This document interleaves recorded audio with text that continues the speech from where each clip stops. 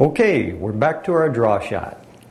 We need to understand what kind of an action do we have to have on the cue ball, on contact with the object ball, in order to draw the cue ball back to us. The action we need to have is backspin. If it's not spinning backwards when it contacts that object ball, it's either going to do one of two things. It's either going to be a stop shot because it slid into the ball, or it's going to be a follow shot because it rolled into the ball. But for a draw shot, we don't want that. We want it to come back to us. So what we have to do is have the backspin. How do we impart the backspin on that? That's what I'm about to show you.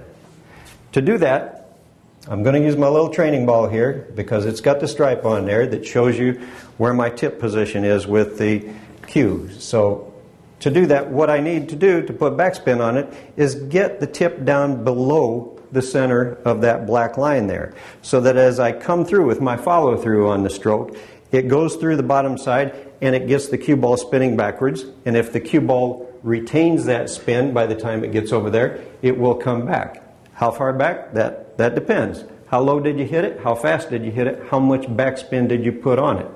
So if you want just the right amount to say get back over in this area, you're going to have to practice how far below center and just how fast to hit it.